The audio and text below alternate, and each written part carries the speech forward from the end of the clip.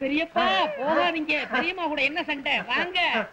அடே யாருடா? உடுடா ரயில் புறப்பட போகுது. பெரியம்மாவை நான் சமாதானப்படுத்துறேன். நீங்க வாங்க.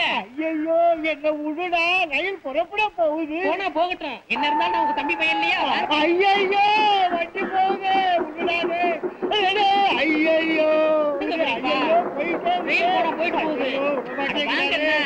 உடுடா உடுடா ரயில் கடைசி பெட்டி வரைக்கும் போச்சு. நீங்க இல்ல எங்க பெரியப்பா. அட பாவி. பின்னாடி பார்க்க எங்க பெரியப்பா மாதிரி இருந்துச்சு. அதான் பிடிச்சி இழுத்தேன். என் பொழப்பையே கெடுத்துட்டியே ஐயா ஐயா எல்லாரும் வாங்க. என்ன ஜப்பு வேலை வெட்டி இல்லாம ரொம்ப கஷ்டப்பட்டு என் சொத்துக்கள் எல்லாம் வித்து இருபத்தையாயிரம் ரூபாய் செலவு பண்ணி துபாய்க்கு புறப்பட்டுட்டு இருந்தேன். பின்னாடி கட்டி புடிச்சு பொழப்பையே கட்டிட்டாங்க அதுக்கு நான் என்ன செய்யறது? பின்னாடி பார்க்க எங்க பெரியப்பா மாதிரி இருந்துச்சு. அதோ அவங்க அப்பா வராரு. அந்த அவர்கிட்டயே சொல்லுங்க. என்ன? என் பையனை சுத்தி கூட்டம்? ஏதாவது வித்த கித்த காட்டுறானா? இது உன் பையனா? இப்படி ஒரு பிள்ளைய பத்தி எம்எல்ஏ ஏவி விடணுமா? ஏவி வர்றதுக்கு என்ன ஏவுகணையா இல்ல குட்டிச்சாத்தானா? என்னையா பண்ணா? என்ன பண்ணினானா இருபத்தையாயிரம் ரூபாய் செலவு பண்ணி இந்த ரயில பிடிச்சி கப்பலை பிடிச்சி துபாய்க்கு போலான்னு இருந்தேன் ஐயா. பின்னாடி பார்த்தா பெரியப்பா மாதிரி இருக்கேன்னு கட்டி பிடிச்சி ரயில் போன பிற்பாடு பெரியப்பா இல்லைன்னு சொல்றாங்க பின்னால பார்த்தா பெரியப்பா மாதிரி இருக்கா? எங்க திரும்புங்க.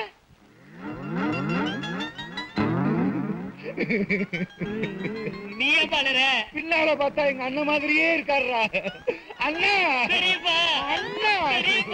அண்ணா. அஹ், நீங்க அண்ணன் இல்ல. போடா. இந்த மாதிரி அப்பனும் இந்த மாதிரி பிள்ளை இருந்தா ஊரு உருப்பிடும் நீங்க இருக்கிற ஊர்ல இருந்து ரயிலே ஏற மாட்டேன்டா. ஆள விடுங்கடா. மண்டை ஓட்டு முடி முளைச்ச மாதிரி. இவன் துபாய் போனா துபாயே கெட்டு போயிடும். அப்பவே சொன்னா நான் கேட்கல எனக்கு இது வேணும் இன்னும் வேணும். சொந்தக்காரன் வீட்டுக்கு அட்ரஸ் கேட்டா அவன் சுடுகாட்டுக்கு அனுப்பிச்சிட்டான்? பார்த்தா பெரிய மனுஷன் மாதிரியா இருக்கு. ஏதோ சிந்தனை பண்றாரு. கேட்ட வேண்டியதான் சார்! எனி ப்ராப்ளம் எனக்கு இங்கிலீஷ் தான் தெரியாதுங்க. என் பேரு வேதாரண்ய வெள்ளச்சாமி. கையில பை வச்சிருந்தேன் களவு போயிடுச்சு. பையில காசு வச்சிருந்தேன் செலவாயிடுச்சு. நான் ஊருக்கு போகணும். ஒரு பத்து ரூபா கொடுத்தீங்கன்னா பிரதர் நான் வண்டலூர் வடிவேலு. உங்ககிட்ட சொல்றதுனால தப்பில்லைன்னு நினைக்கிறேன். நான் சாப்பிட்டே ரெண்டு நாள் ஆச்சு. ஒரு அஞ்சு ரூபாய் கொடுத்தீங்கன்னா ஊர் பக்கம் பார்த்து போயிடுவேன். கையடுறா. உனக்கெல்லாம் ஒரு பேண்ட் ஷர்ட் கண்ணாடி. இதுல இங்கிலீஷ் வேற. போடா. உங்ககிட்ட போய் கேக்குறேன் பாரு. கருமம். அம்மா சாகர வயசாயுது. இவ்வளவு சின்ன வயசுலயே பொட்டுட்டு போயிட்டியே. மகன் கிட்ட கூட ஒரு வார்த்தை சொல்லாம போயிட்டியே. எதை எதை எவ்வளவு கிட்ட கொடுத்துருக்கேன்னு சொல்லாம போயிட்டியே. அம்மா அம்மா ஐயோ அம்மா.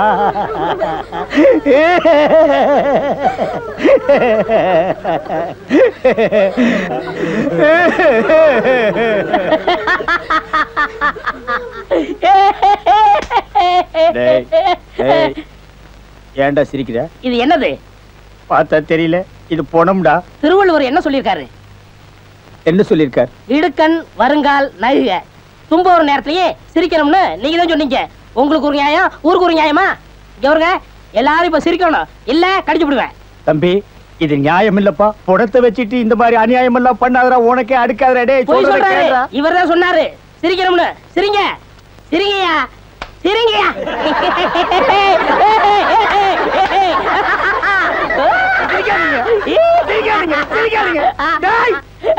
டேய் படுவா பிச்சு படுவா என்னது? போனா நான் என்ன சினிமா நடத்துறனா டிராமா நடத்துறனா? இல்ல அனாதை பணத்தை போட்டு காசு வசூல் பண்றேனா?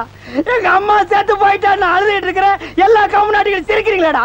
அதெல்லாம் போய் சிரிங்க சிரிங்க. ஏய். வேணாம், வேணாம், வேணாம், ஐயோ, வேணாம்டா, டேய். ஐயோ பேய் பேய் என்னடா இது? தூக்கம் வரலன்னு ரெண்டு மாத்திரைய அதிகமா போட்டுக்கிட்டு கொஞ்ச நேரம் தூங்கிட்டேன். அதுக்குள்ள பாட கட்டிட்டீங்களே. அதெல்லாம் கிடையாது. நீ செத்து போயிட்ட தம் கட்டி படுத்து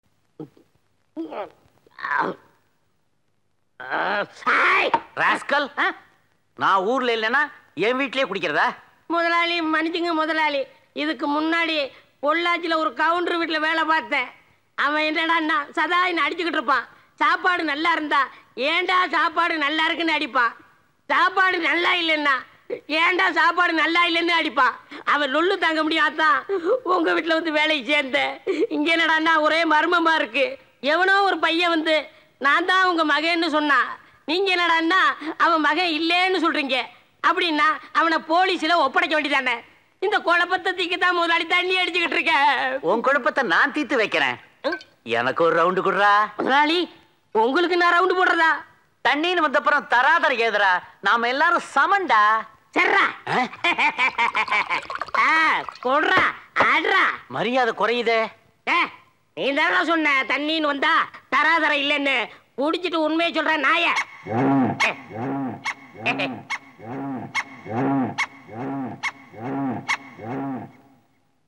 என்னடா?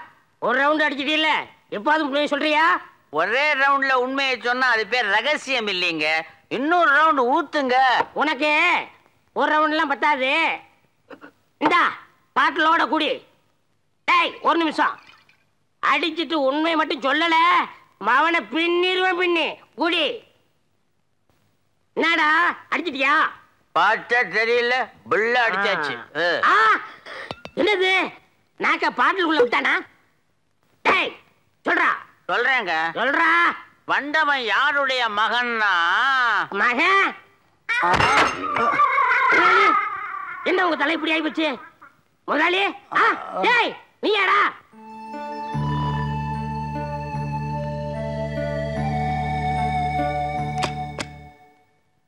தம்பி தம்பி டிபன் சாப்பிடுங்க. அண்ணா ஆ, பட்லர்ண்ணா நீங்களாவது என்ன கொஞ்சம் புரிஞ்சுக்கோங்கண்ணா. தம்பி எனக்கு எல்லாமே புரிஞ்சு போச்சு. நீங்க எங்க முதலாளியோட ஒரே பையன். அப்பாடா தப்சேண்டா சாமி. அது வந்துண்ணே ஆ. இந்த லண்டன்ல ஜாலியா ஃப்ரீயா பழகிட்டு இருந்தேனா ஆ. இங்க ஜெயில் கைதி மாதிரி அடைச்சு போட்டீங்க. ரொம்ப கஷ்டமா இருக்கு. கொஞ்சம் வெளிய விட்டீங்கன்னா ஒரு சுத்து சுத்திட்டு வந்துருவேன். தம்பி. அங்கேதான் ஒரு சிக்கலே இருக்கு. நீங்க வெளிய போனா உங்க உயிருக்கு ஆபத்து. அதனாலதான் உங்க அப்பா அறையில வச்சு பூட்டி வச்சிருக்காரு. அது மட்டும் இல்ல சிங்கப்பூர்ல இருக்க உங்க அத்தை பொண்ணு. அத உங்களுக்கு கட்டி வச்சு சிங்கப்பூர்லயே உங்களை செட்டில் பண்ணிடலாம்னு உங்க அப்பா சிங்கப்பூர் போயிருக்காரு. அட பாவிகளா.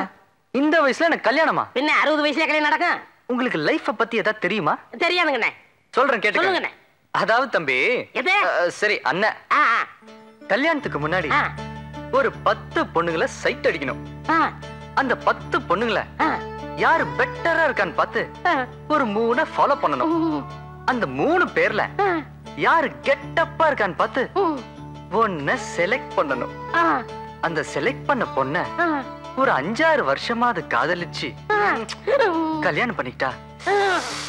அந்த சுகமே தனி. அதெல்லாம் இருக்கட்டும் கதை எப்படி இருக்கு? தாங்க முடியல தம்பி. தாங்க முடியலல அப்ப நான் வரேன். அதான் நடக்காது. ஐயோ அண்ணன் இன்னைக்கு வெள்ளிக்கிழமைனே நாலு மணிக்கு காலேஜ் ஃபிகர்ஸ்லாம் வெளியே வருவாங்க.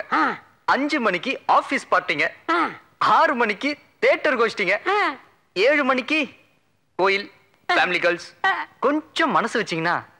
இதுல எதையாவது ஒண்ண தம்பி. தப்பா எடுத்துக்காதீங்கன்னா ஏதாவது ஒண்ண கரெக்ட் பண்ணிட்டு வந்துருவேன்னு சொல்ல வந்தேன். சரி தம்பி போயிட்டு எட்டு மணிக்கு வந்துருவீங்கல்ல? வந்துருவேண்ணே. ஒரு மணி நேரம் லேட் ஆச்சுன்னா? இந்தாங்கண்ணா ஐநூறு ரூபா இன்னொரு மணி நேரம் லேட் ஆச்சுன்னா? இந்தாங்கண்ணா இன்னொரு ஐநூறு ரூபா இன்னொரு மணி நேரம் லேட் ஆச்சுன்னா? இந்தாங்கண்ணா இன்னொரு ஐநூறு ரூபா நீங்க வரவே இல்லைன்னா அப்பா வந்து நிறைய கொடுப்பாரு வாங்கிக்கோங்க. அப்பா வந்து என்ன கொடுப்பாரு? உதையில கொடுப்பாரு. தம்பி.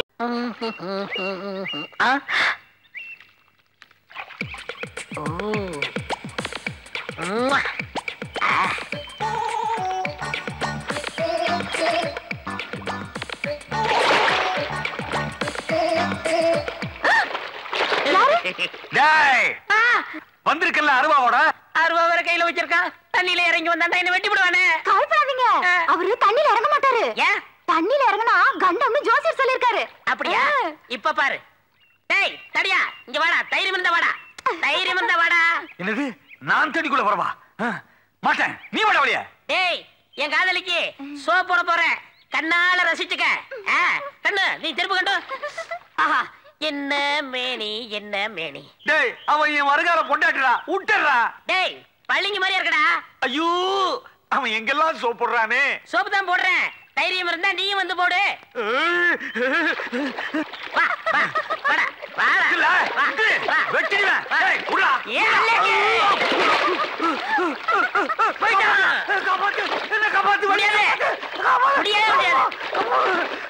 மாமனுக்கு தண்ணியில கண்டவங்கிறது கரெக்டா இருக்கு. இனிமே திரும்பி வரவே முடியாது. அப்படியே போயிரு.